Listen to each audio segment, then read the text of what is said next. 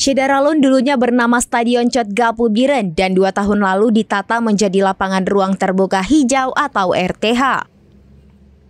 Pekerjaan dimulai dengan penghijauan dan pembangunan tribun utama dan dilanjutkan pembangunan taman dan berbagai sarana pendukung lainnya.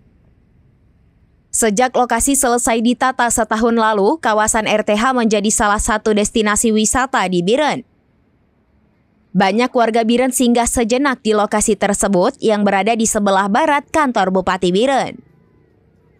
Lapangan RTH dan juga area publik Kota Biren telah didesain sedemikian rupa, mulai dari taman bermain, area kosong, dan juga tugu dibangun begitu indah.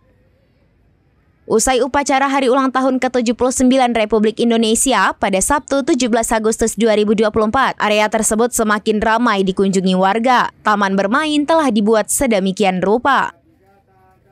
Seluruh anggota Paskibraka Biren foto bersama di lokasi tersebut bersama unsur Forkopimda.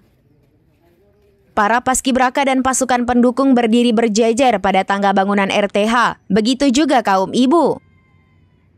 Selain itu, banyak warga Biren mengambil momen foto bersama di kawasan tersebut. Dari Biren, Yusmandin Idris, Rambinews.com.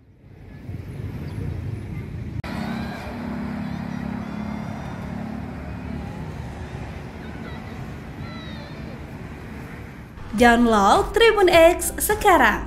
Menghadirkan lokal menjadi Indonesia.